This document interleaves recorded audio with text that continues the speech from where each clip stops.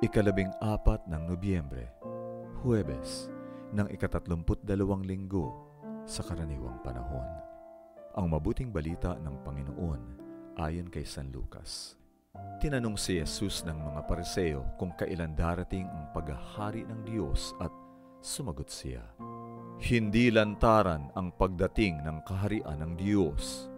Hindi masasabing, narito o naroon Nasa inyo na nga ang kaharian ng Diyos.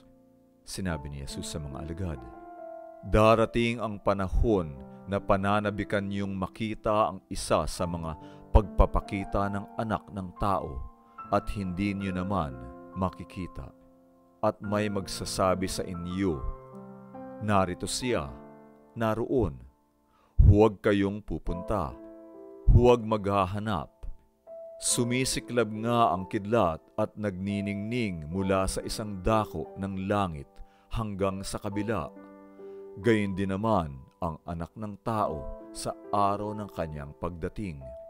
Ngunit kailangan muna niyang magtiis ng marami at itakwil ng mga tao sa kasalukuyan. Ang mabuting balita ng Panginoon. Pagsasadiwa hindi lantaran ang pagdating ng kaharian ng Diyos. Hindi masasabing narito o naroon, nasa inyo na nga ang kaharian ng Diyos. Makikilala ang pagdating ng kaharian ng Diyos sa pamamagitan ng puso. Hindi gaya ng mga kaharian sa mundo na magharbo at nakikita sa karangyaan ng mga palasyo at mismong pagpaparamdam ng lakas at kapangyarihan.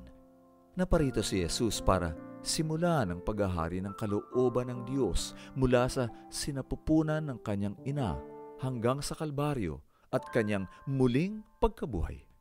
Ngunit naging tahimik na pakikiisa sa kalagayan ng sangkatauhan ang nangyari at patuloy na nangyayari sa ating panahon ngayon. Mismo ang kanyang presensya ang ugat ng paghahari ng Diyos dahil sa buhay niya, naging ganap ang kalooban ng Ama.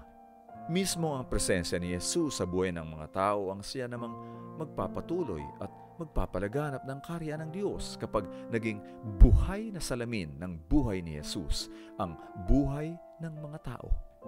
Kaya't hindi na dapat siyang hanapin. Nasa puso na siya ng tao.